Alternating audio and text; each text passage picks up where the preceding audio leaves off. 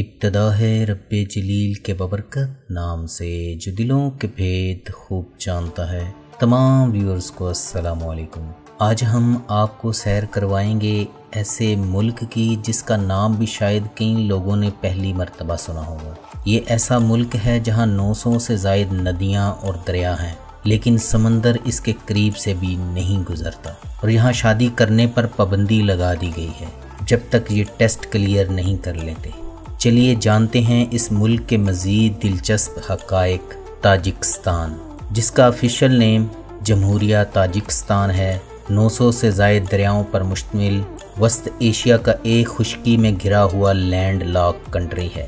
اس کا ترانوے فیصد رقبہ پہاڑوں پر مشتمل ہے۔ اس کی سرحدیں جنوب میں افغانستان، مغرب میں ازبکستان، شمال میں کرغزستان اور مشرق میں چین سے ملتی ہیں۔ یہ تاجک نسل کے باشندوں کا ملک ہے جن کی ثقافتی اور تاریخی جڑیں ایران اور افغانستان میں پیوست ہیں اور یہ فارسی سے انتہائی قربت رکھنے والی زبان تاجک بولتے ہیں۔ سامانی سلطنت کا گہوارہ رہنے والی یہ سرزمین بیسویں صدی میں سویت اتحاد کی باضابطہ جمہوریہ رہی، جسے تاجک سویت اشتراکی جمہوریہ کہا جاتا ہے۔ وسط ایشیا کا سب سے بڑا دریا، دریائے آمو، اسی ملک میں سے گزرتا ہے۔ سویت اتحاد کی افغانستان میں شکست کے بعد رشیا کئی حصوں میں بٹ گیا۔ اس کے نتیجے میں تاجکستان کو بھی آزادی ملی۔ آزادی ملنے کے بعد تاجکستان انیس سو بانوے سے انیس سو ستانوے تک زبردست خانہ جنگی کا شکار رہا۔ خانہ جنگی کے خاتمے کے بعد سیاسی استحکام، غیر ملکی امداد اور ملک کے دو بڑے قدرتی ذرائع کپاس اور ایلومینیم نے ملکی معیشت کی بہتری میں اہم کردار ادا کیا۔ تاجکستان کا یہ نام تاجک اور ستان سے مل کر بنا ہے یعنی تاجکوں کا وطن، جیسا کہ ایران اور اس سے ملحقہ بیشتر ممالک کے ناموں کے ساتھ استان لگتا ہے، جیسے پاکستان، افغانستان کرغستان وغیرہ۔ دوشمبے ملک کا دارالحکومت اور سب سے بڑا شہر ہے۔ ساڑھے سات لاکھ کے قریب آبادی والا یہ شہر دنیا کے خوبصورت ترین شہروں میں شمار ہوتا ہے۔ تاجک زبان میں دوشمبے کے معنی پیر کے ہیں۔ اور دو شمبا اردو میں بھی استعمال ہوتا ہے۔ اس کا یہ نام ماضی میں لگنے والے سوموار بازار کی وجہ سے مشہور ہوا۔ قطبین کے بعد سات سو مربع کلومیٹر پر محیط فیڈ چین کو گلیشیئر دنیا کا دوسرا بڑا گلیشیئر بھی تاجکستان میں واقع ہے۔ یہ سرزمین جہاں یہ اب تاجکستان واقع ہے، چار ہزار سال قبل مسیح سے مستقل آباد ہے۔ یہ علاقہ تاریخ میں مختلف سلطنتوں کے زیر نگی رہا۔ قبل از مسیح میں یہ علاقہ باختر کی سلطنت کا حصہ تھا، ساتویں صدی عیسوی میں اسلام یہاں بھی داخل ہوا۔ عباسی دور کے آخر میں جب سلطنت اسلامیہ کے مختلف حصوں میں نئی ریاستیں وجود میں آئیں، تو اولین ریاستوں میں سے ایک ریاست سامانی سلطنت یہاں وجود میں آئی تھی، جس نے سمرکند اور بخارا کے شہر بنائے جو تاجکوں کے ثقافتی مراکز بنے۔ بعد ازاں منگولوں نے وسط ایشیا پر قبضہ کیا سلطنت روس کا حصہ بننے سے پہلے یہ علاقہ امارت بخارا میں شامل تھا۔ انیسویں صدی میں سلطنت روس نے وسط ایشیا پر اپنے پنجے گاڑنا شروع کیے اور تاجکستان پر بھی قبضہ کر لیا۔ انیس سو سترہ میں زار روس کی سلطنت کے خاتمے کے بعد وسط ایشیا میں پسماچی تحریک کا آغاز ہوا، جنہوں نے آزادی کے لیے سرخ افواج کے خلاف زبردست مزاحمت کی۔ لیکن اس تحریک کو کچل دیا گیا اور یہ علاقہ سویت اتحاد کا حصہ بن گیا۔ اشتراکی دور میں یہاں مذہب بالخصوص اسلام کو بہت زیادہ نقصان پہنچایا گیا۔ مساجد و عبادت گاہوں کو بند کر دیا گیا۔ ماسکو نے وسط ایشیا کی راستوں میں سب سے کم تاجکستان پر توجہ دی اور یہ طرز زندگی، تعلیم اور صنعت میں وسط ایشیا کی تمام ریاستوں میں سب سے پیچھے رہی۔ انیس سو اکانوے میں سویت اتحاد ٹوٹ گیا۔ اور تاجکستان نے آزادی کا اعلان کر دیا۔ آزادی کے فوراً بعد ملک بدترین خانہ جنگی کا شکار ہوا، جس میں مختلف خاندانوں سے تعلق رکھنے والے قبائل آمنے سامنے ہو گئے۔ اس عہد میں غیر مسلم آبادی، جو زیادہ تر روسیوں اور یہودیوں پر مشتمل تھی، بڑھتی ہوئی غربت اور مغرب میں بہتر اقتصادی مواقع ملنے کے باعث ملک سے فرار ہو گئی انیس سو بانوے میں امام علی رحمانوف برسر اقتدار آئے اور یہ پچھلے ستائیس سال سے اب تک ملک کے حکمران ہیں۔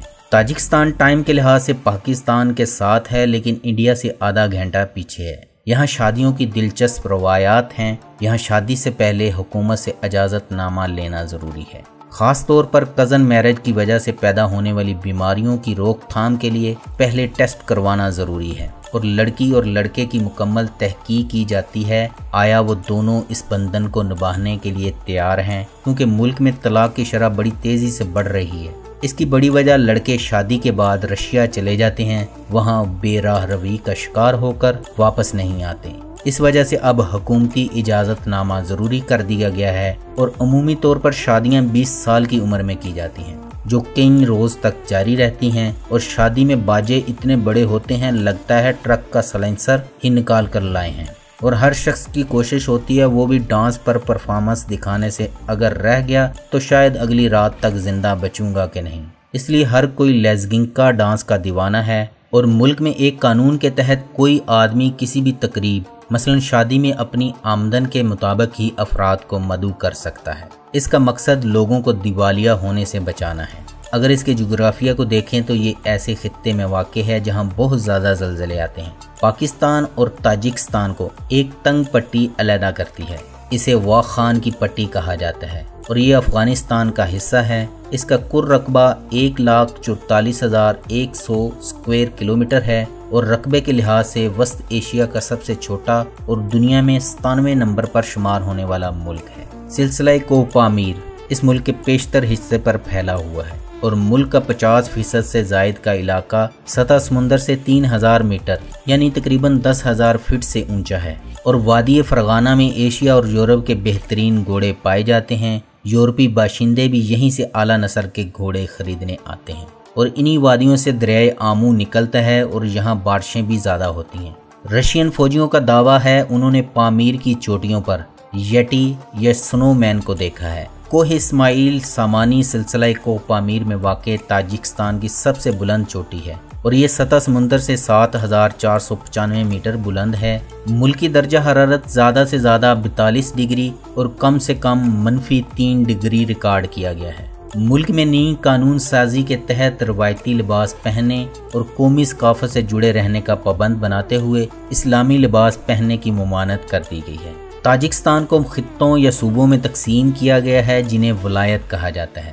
وادی فرغانہ میں واقع وروخ وہ خطہ ہے جہاں تین ممالک کرغستان تاجکستان اور ازبکستان آپس میں ملتے ہیں۔ تاجکستان باضابطہ طور پر ایک جمہوریہ ہے۔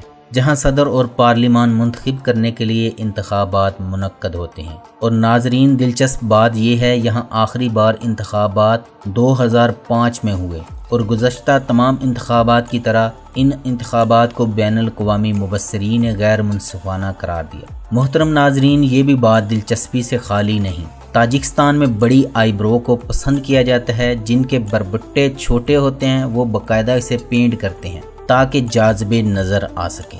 ملک کی اسکندر کل لیک کا نام اسکندر اعظم کے نام سے رکھا گیا ہے۔ ملک کا ڈائلنگ کوڈ پلس نو سو بانوے ہے اور internet domain name dot T J ہے۔ ملک میں ڈرائیونگ رائٹ سائڈ ہے یعنی گاڑیاں دائیں طرف چلتی ہیں اور سٹیرنگ لیفٹ ہینڈ ہوتا ہے۔ اگر اس کی معیشت کی بات کی جائے تو عالمی بینک کے اداد و شمار کے مطابق دو ہزار سے دو ہزار چار کے درمیان تاجکستان کے جی ڈی پی میں نو اشاریہ چھ فیصد سالانہ کے حساب سے اضافہ ہو رہا ہے اور اس کا سالانہ جی ڈی پی تیس اشاریہ پچپن بلین ڈالر ہے اور اس کی کرنسی تاجکستانی سومونی ہے، جو انڈین سات اشاریہ پچیس روپوں اور پاکستانی سولہ اشاریہ اسی روپوں کے برابر ہے۔ اور یہاں فیکس آمدنی بتیس سو ڈالر یعنی پاکستانی پانچ لاکھ آٹھ ہزار چار سو ساٹھ روپوں اور انڈین دو لاکھ انیس ہزار آٹھ سو نوے روپوں کے مساوی بنتے ہیں۔ نوریک ڈیم دنیا کا سب سے اونچا ڈیم ہے جو ہاتھ سے بنایا گیا ہے۔ تاجکستان کی معیشت میں آمدنی کے بنیادی ذرائع ایلومینیم کی پیداوار، کپاس کی کاشت، ملک کے جی ڈی پی کا تقریباً سنتالیس فیصد حصہ بیرون ملک سے بھیجی جانے والی ترسیلات زر سے آتا ہے اور ملک کے نوے فیصد باشندے روس میں مختلف شعبوں میں خدمات انجام دے رہے ہیں۔ ناظرین، آپ کو بتاتے چلیں، تاجکستان کے صدر کی اپنے بیٹے کی شادی میں ڈانس کی ویڈیو کسی نے اپلوڈ کر دی، تو اس نے ملک میں یوٹیوب کو ہی بلاک کر دیا۔ تاجکستان کی آبادی جولائی دو ہزار اٹھارہ کے ایک اندازے کے مطابق بانوے لاکھ پچہتر ہزار نو سو افراد ہیں، جو دنیا میں آبادی کے لحاظ سے چھیانوے نمبر پر شمار ہوتی ہے۔ اور اس کے فی کلومیٹر پر اڑتالیس افراد آباد ہیں، جو دنیا میں کم ترین آبادی والے ممالک میں ایک سو پچپنوے نمبر پر شمار ہوتی ہے۔ ملکی آبادی میں سب سے بڑا نسلی گروہ تاجک ہے جو چوراسی فیصد ہے جبکہ ازبک باشندوں کی بڑی تعداد بھی تاجکستان میں رہائش پذیر ہے روسیوں کی بھی تھوڑی سی آبادی یہاں رہتی ہے، جو ہجرت کے باعث کم ہوتی جا رہی ہے۔ ملک کی باضابطہ زبان تاجک ہے، جبکہ کاروباری اور حکومتی معاملات میں روسی زبان بھی بڑے پیمانے پر استعمال ہوتی ہے۔ ملک میں چورانوے لاکھ افراد موبائل کا استعمال کرتے ہیں اور بیس لاکھ کے قریب افراد انٹرنیٹ کا استعمال جانتے ہیں۔ ملک میں سترہ فیصد غربت کے باوجود تاجکستان میں خواندگی کی شرح بہت زیادہ ہے۔ اور تقریباً اٹھانوے فیصد آبادی لکھنے پڑھنے کی صلاحیت رکھتی ہے۔ زوراسترین مذہب کے ماننے والوں کا آج بھی ان کی زندگیوں پر گہرا اثر ہے۔ بہت سے لوگ اس بات کا یقین کرتے ہیں کہ سپر نیچرل فورسز ان کی روزمرہ زندگی کو متاثر کرتی ہیں اور وہ اپنے آپ کو برائی سے بچانے کے لیے طویز گنڈے پہنتے ہیں۔ ملکی اکثر آبادی اسلام کی پیروی کرتی ہے، جن میں ترانوے فیصد سنی جبکہ شیعہ تین فیصد ہیں۔ یہاں کی اوسط عمر اڑسٹھ شریعہ چار سال ہے سویت اتحاد دور کے دوران ملک میں معاشرے کو مذہب بیزار کرنے کی کوششوں کو بڑی حد تک ناکامی ملی۔ اور آزادی کے بعد مذہبی رحجان میں نمایاں اضافہ ہوا ہے۔ ملک کا دوسرا بڑا مذہب مسیحیت ہے۔ نوے کی دہائی کی ابتدا میں ان کی تعداد کم ہوئی۔ بخاری، یہودی دوسری صدی قبل مسیح سے اس علاقے میں رہتے ہیں۔ تاہم آج ان کی تعداد چند سو ہی ہے۔ ملک میں ٹریفک کا نظام موجود ہے۔ ملک میں افیشل اور نان افیشل چوبیس ایئرپورٹ اور دو ایئر لائن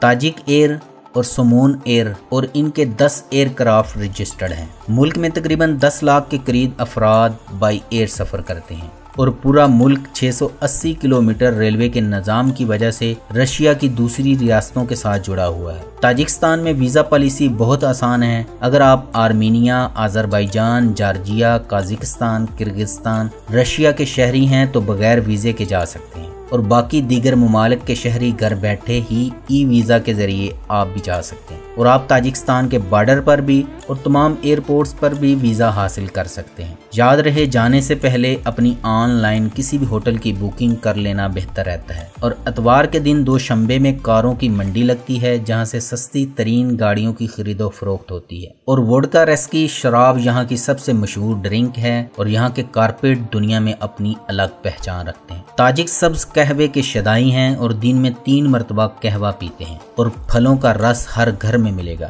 یہاں پلاؤ سب سے مشہور ڈش ہے جو مٹن، بیف اور گاجر کے ساتھ بنائی جاتی ہے۔ اور اوش کے تہوار پر لوگ اپنی گنجائش کے مطابق پلاؤ بنا کر لاتے ہیں اور ہر کسی کے لیے فری ہوتا ہے۔ اور اس کے علاوہ کوروتوب بھی شوق سے کھائی جاتی ہے، جسے آپ سرید بھی کہہ سکتے ہیں۔ سمبوسا، سیخ کباب، تسبیرہ سوپ اوگرو سوپ جز بز دولما مانٹو شربو خشک میوہ جات اور کئی اقسام کے دل فریب، نقش و نگار والے نان، چپاتی اور کلچے کھائے جاتے ہیں۔ اور آپ کو مارکیٹ میں زیادہ تر خواتین بیچتی نظر آتی ہیں۔ اور یاد رہے، یہاں مٹن کافی سستا ہے اور ان کی ہر ڈش کا لازمی جزو بھی۔ اور ملک میں بیس ڈالر سے ستر ڈالر تک روم ایک رات کے لیے مل جاتا ہے۔ اور اگر آپ وہاں کے مقامی رہائشیوں کے گیسٹ ہاؤسز میں رہیں، تو مزید سستا پڑتا ہے۔ یہاں کے لوگ نہایت ملنسار اور محبت کرنے والے ہیں۔ آپ کو ریڈ کارپٹ پروٹوکول تو نہیں ملے گا، لیکن آپ کو کھلے دل کے لوگ ضرور ملیں گے۔